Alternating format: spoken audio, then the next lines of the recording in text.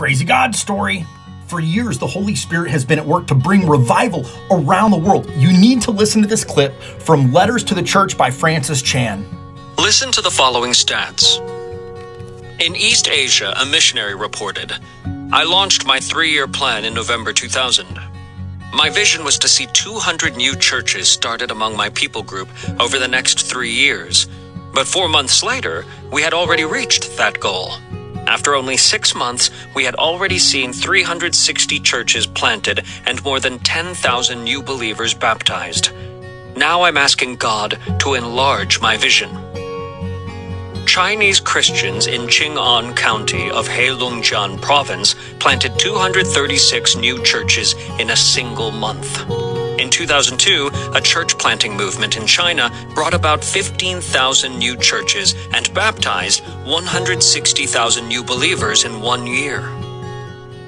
During the decade of the 1990s, Christians in a Latin American country overcame relentless government persecution to grow from 235 churches to more than 4,000 churches, with more than 30,000 converts awaiting baptism.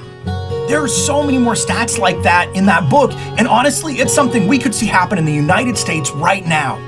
Here's what those churches are doing to see that happen, and if more American churches did it, we'd see the same kind of results.